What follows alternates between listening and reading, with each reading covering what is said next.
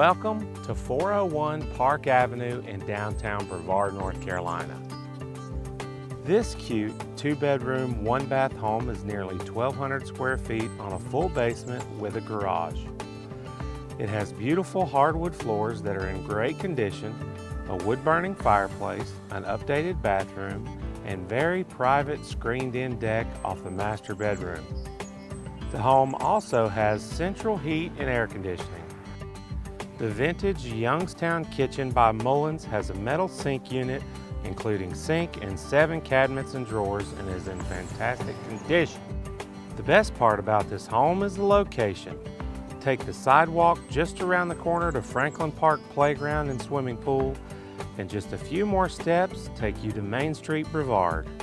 You will enjoy walking to shopping, dining, and several street festivals every year as well as the 4th of July fireworks display.